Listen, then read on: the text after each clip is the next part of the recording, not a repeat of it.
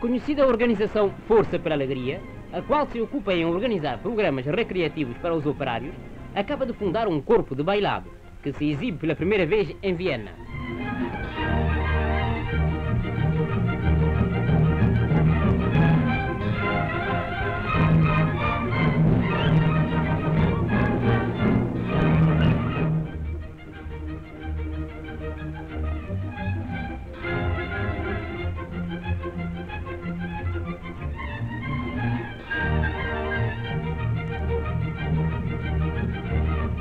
Eis a representação da final da suíte húngara.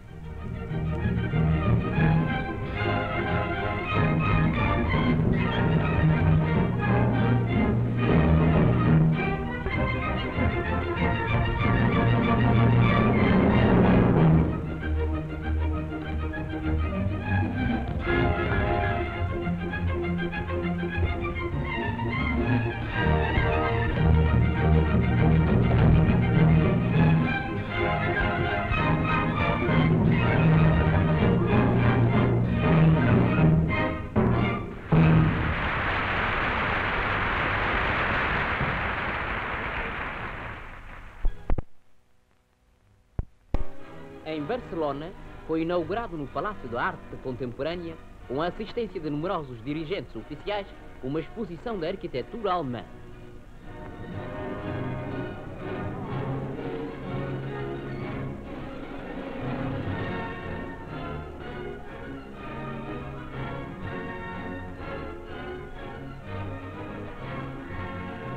Este lindo certamen, que apresentava numerosas plantas e modelos, permitiu que se lançasse um golpe de vista sobre as modernas construções da Nova Alemanha.